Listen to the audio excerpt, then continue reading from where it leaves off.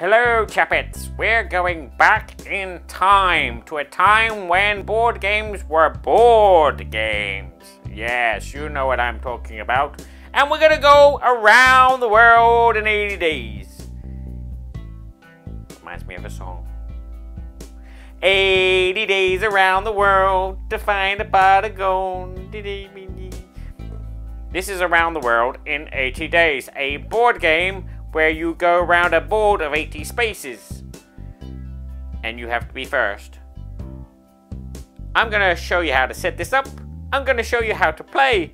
And then I'm going to give you a review about this game. And then I will leave it up to you to decide whether this should be sat on your shelf or whether you should spend 80, 80 pounds around the world buying other games. Yes. So, uh, without further ado, let's cut to the credits so you can see a bit more about this game.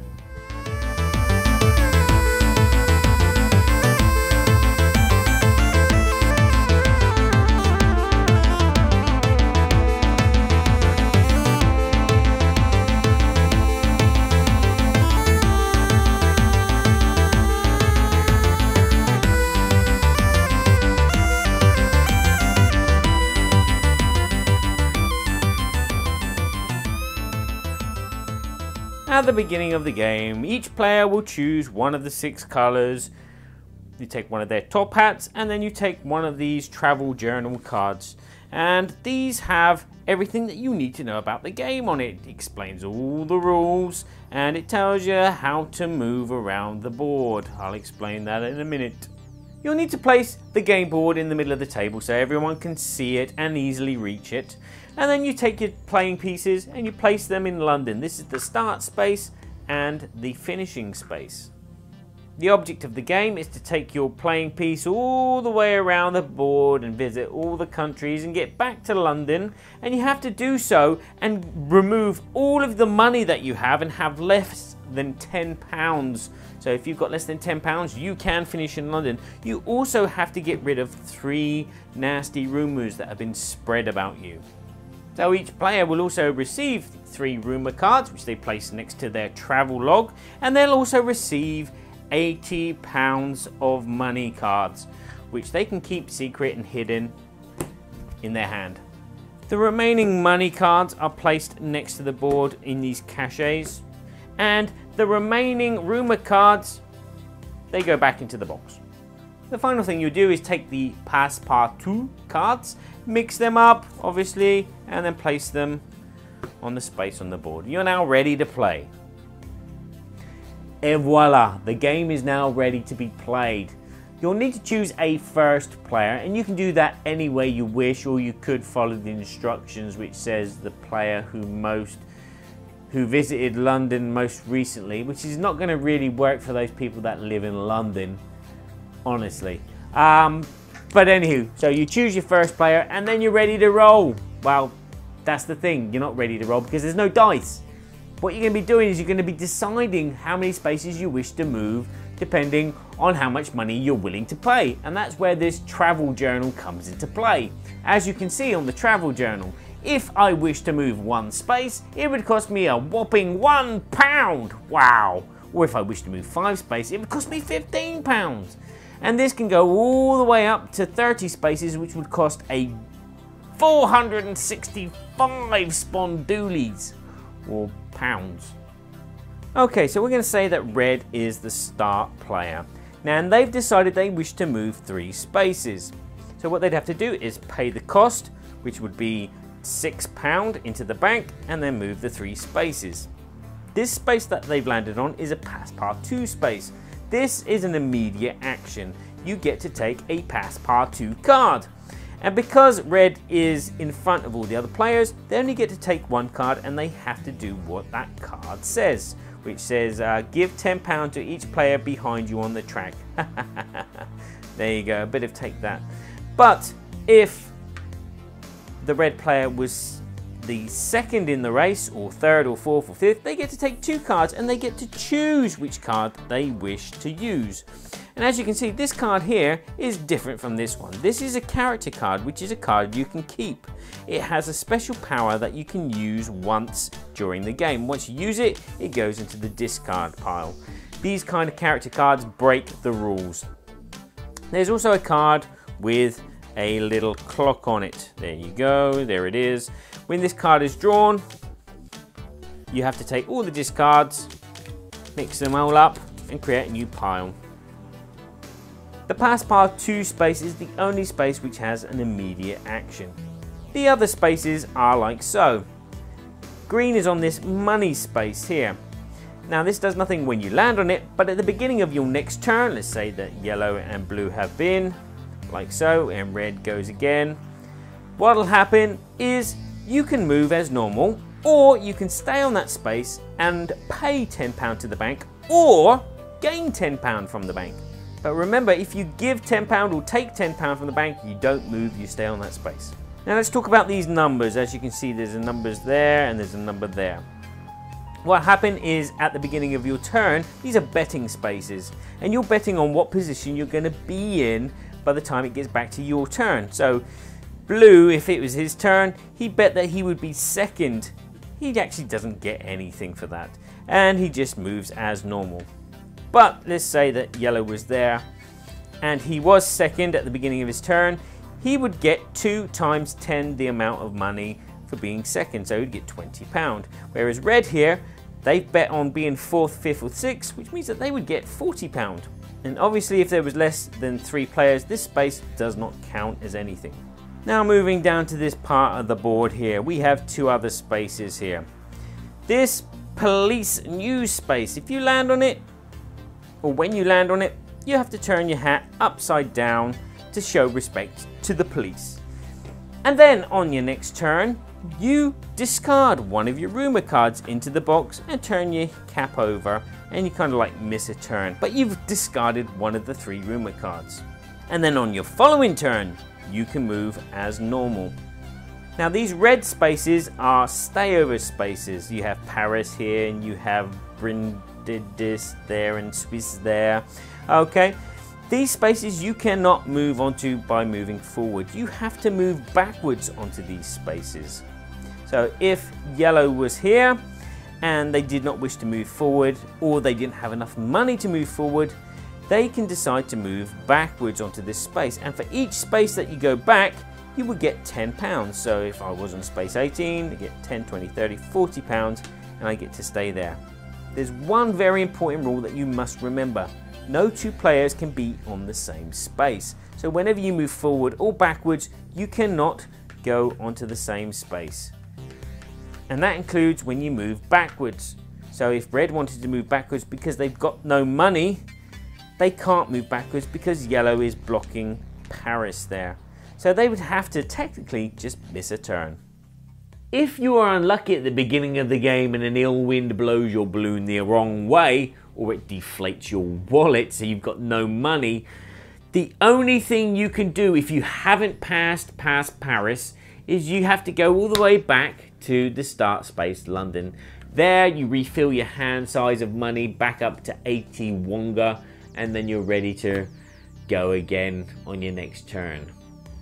The game will end when one player arrives on space number 80 and they have no rumour cards in their hand and they have less than 10 pound. If you don't, you can't land on this space. When a player lands there and they've achieved those goals, they win the game. And by the way, that's not a real cup of tea. It looks real,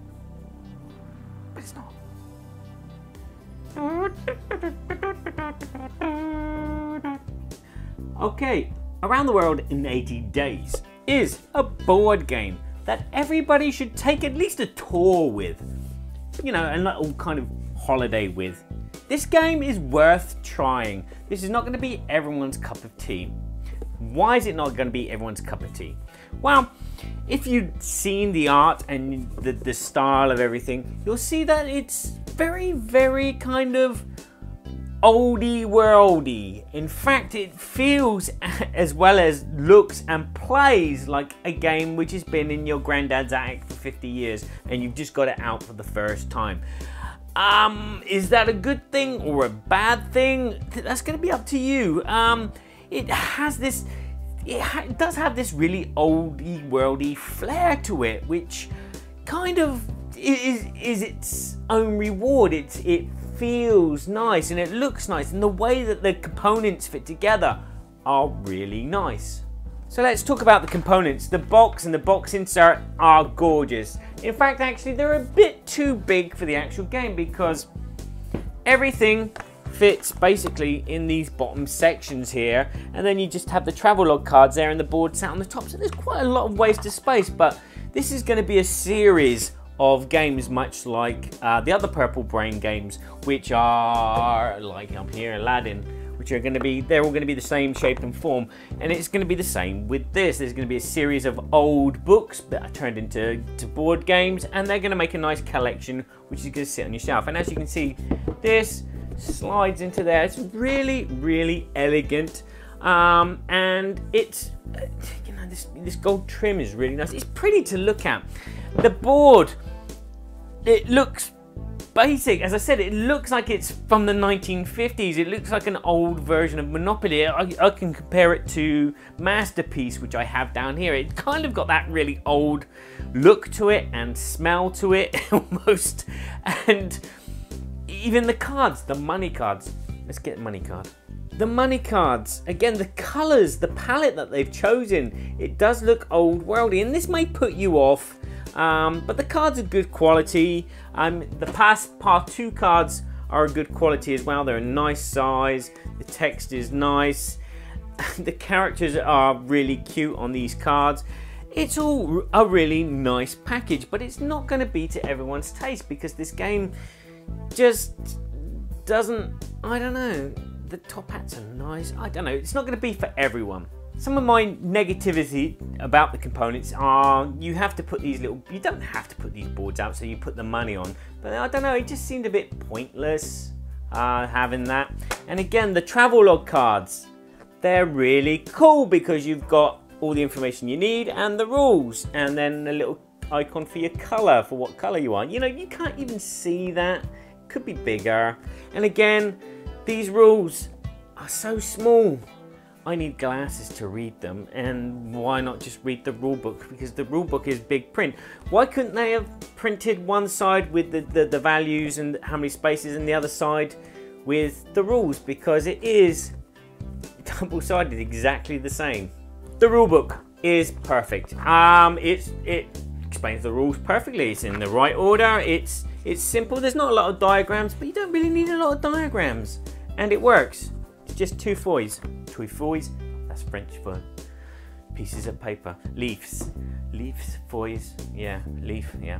Um, why it didn't come with a story of 80 days around the world in it? Like, I don't know. But um, rulebook, really good. Quality of components, really good. I do it, as I said, I have niggles about that in the, the, the other board. The gameplay is really, really simple and intuitive. Uh, you, you, explain it to people, especially non-gamers. If you explain it to non-gamers, they're like, where's the dice? There's no dice. But you explain it, you say, well, if you want to move four spaces, you have to pay this amount of money. Oh, okay, okay. And then it works. And then getting over the simple the, the, simplicity of you know these spaces when you move into them they act after on your next turn, at the beginning of your turn, they have their effect apart from the Passepartout cards, which are take that cards. And that's probably the only probably bit of downside with the game is these take that cards. Um, as I said, if you manage to run out of money before you get to Paris, you have to go all the way back to the beginning and get 80 pound and start all over again. And that happened to me because I picked up a Passepartout card and it, it got rid of some money from my hand. And then someone else picked one up and they chose to play it on me. And then I had to lose lots of money and I had to go back to the beginning. So they are kind of nasty, but it is evened out with the, um, the character cards with their special power, which they're all rule breaking special powers. You know, you can double up on someone's space um, one of the powers is, and that's quite useful. Or it, it amplifies the amount of money that you're going to get, which is useful again. Um, so that kind of balances it out. And again, where it's only the first player that can only take one Passepartout card, and all the other players can take two and choose one. That that that seems to even out. But I've always found that when we've played it, new players will try the Passepartout cards, and then midway through the game they won't bother because it just seems like they were getting nasty ones at the time. So, hmm. But the mechanics themselves are really, really interesting. It's a mathematical problem. You're, you're trying to evaluate how much money to spend to get you so far, and then there's these the bet spaces. Should you land on a bet space and hopefully get money that way because you've started your turn in that exact position, or there's a, the money spaces where you could just stay there and take money. It's all a, a very interesting, complex puzzle, but it is really simple to understand and play. And I mean, young children will play to the same kind of level as older children, uh, like us, adults, I mean. But um, it has this really, really nice feel to it. You're all moving along, you're all racing. There's some players that will hold back and I can see where this game has come from the, the hare and the tortoise because some people will run ahead and some people will hold back and spend a little bit of money, move forward a bit, and then and then bet that they're going to be the last place, and so they get a bucket load of money, and then they all of a sudden they got a load of money in their hand, and all of a sudden they run forward. It's fantastic. All the little decisions that you have to make. Is that space available? Will that space be available? Can I make it to that space? Should I spend that much money? And then once you get past about the three quarter mark, it's that concentrating of how do I get rid of all my money now and get, get right near the end. That's always been my downfall. I, can't, I don't figure that bit out very well, but a lot of people can do it and do it very, very well. So people that are mathematically minded are going to do really, really well at this game because they can suss out, okay, I need this much money to get that far, and then if I do that afterwards and that get me that much money, yeah, and then you, they can win. But the other thing they got to take into account is these rumor cards, and they have to get rid of those as well. So you really have to think, okay, I need to get that space, and sometimes someone's on that space, and so it's like, ah! So I'll, I'll move forward one space until that person moves off and then someone jumps into that space after them, and it's like, no! And there's there's only a limited amount of those police news spaces, so you can get rid of the rumors there. So it is a real, real, really number crunchy, thinky game, but it's very, very light at the same time.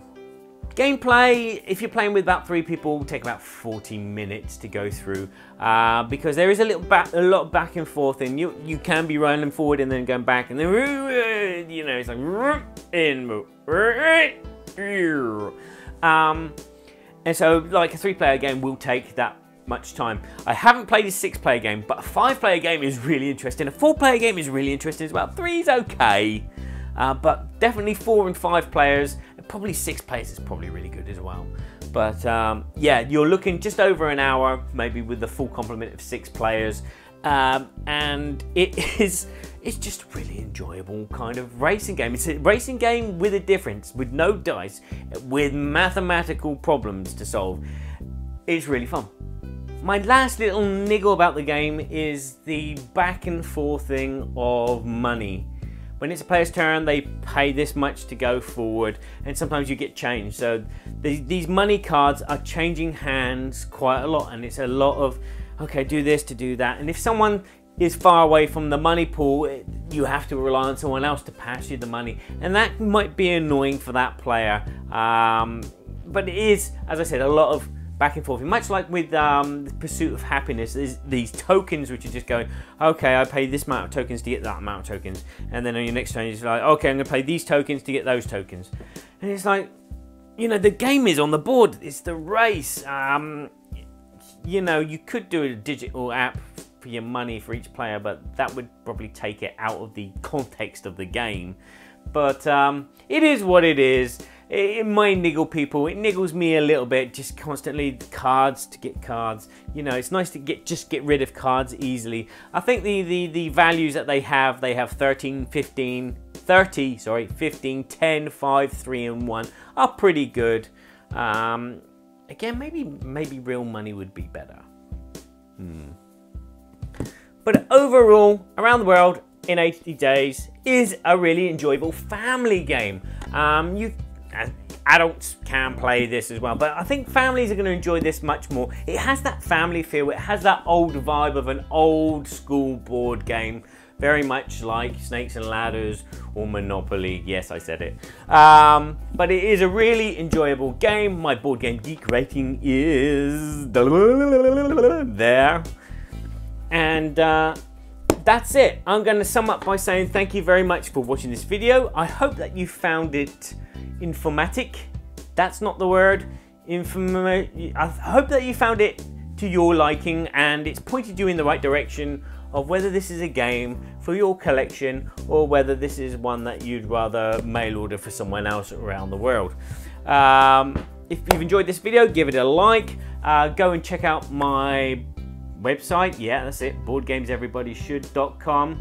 Um, if you like what I do, um, and you want to contribute and throw a few pennies my way and maybe get yourself some promos or some t-shirts, you can go to my Patreon site and, and throw some pennies at me, but not too hard because I might have to go back to Paris a few spaces and get lots more money. But anywho, thanks for watching and remember that you don't have to buy every single board game out there. You just need to own a few good ones and hopefully I've pointed you in the direction whether this is a good one for you. Until next time, ciao for now. Uh, but the way I like to teach this game is every player is a dragon. And the object of the game is to keep flying, you know, keep on flying, keep on flying.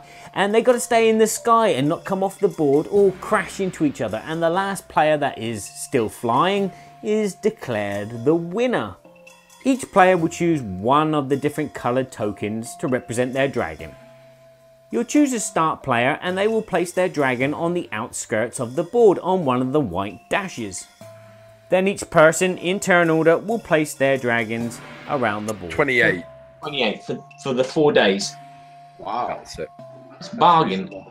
Just go, for the love of God, people. Just go. Eston Gen Con, get there. Yeah, yeah. And then you can feel as sick as Jamie does. You can. You can walk away with all the bacterial diseases. that's that's why all the Americans, whenever you saw an American, they would fist pump you. Well, this is oh. this, this is Eric Martin. it's not fist pump, Barry. It's that's not what you're thinking of. but it's, no, it's, it's actually Eric Martin.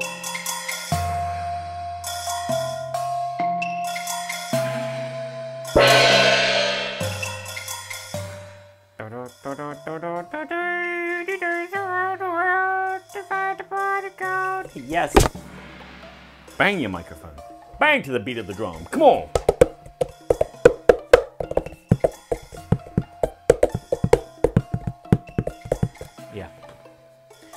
What did I just break? No, don't break the box. If you have the misfortune of running out of money before you arrive at the first red space, one of these layover spaces, you can, if you have a hat running, and then you've got no way of getting any money because you can't go back. Well, you can go back. You can go back all the way to the beginning of the board, start in London, and you get your hand size, your hand size you get your hand of cards of 80 pounds. That's rubbish as well. You can't get money because you need to pass a lay-by station. A lay-by? A lay-by. It's not a lay-by, it's a lay-over space. Luckily, if you haven't passed Paris and you've run out of money, you can go all the way back to London and you real real re, re, re, refill refill your hand size back up to 80 pound. Oh, God's sake. Seven minutes. Get past Paris because you need to get past these these lay-bys. Lay-bys. They're not lay-bys.